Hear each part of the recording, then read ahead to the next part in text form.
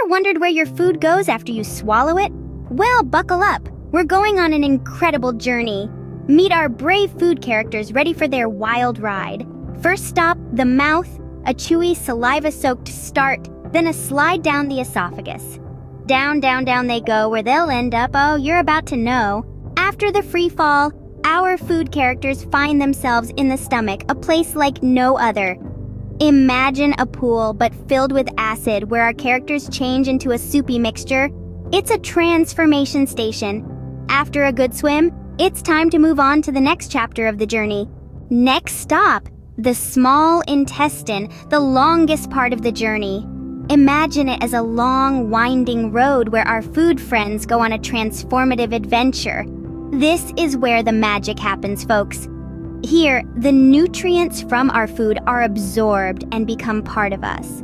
Our characters, now much smaller, continue their journey, becoming a vital part of our body's energy and growth.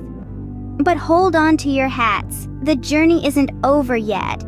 But wait, there's still one final destination. Finally, the food characters reach the large intestine, the last leg of their journey. Here, they undergo a final transformation. The large intestine, like a master recycler, absorbs all the remaining water. What was once a lively food character is now compacted into solid waste. It's a crucial process that prepares them for their final exit. In this grand finale, they're ready to leave the body, having completed their mission. And so the journey ends, but every time you eat, a new one begins. So, that's the amazing journey your food takes through your body.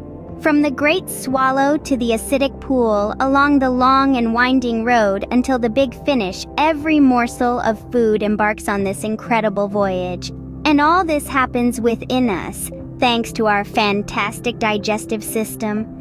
It works tirelessly to break down what we eat into tiny, absorbable parts that fuel our bodies. Next time you take a bite, just remember you're not just eating, you're setting off an adventure.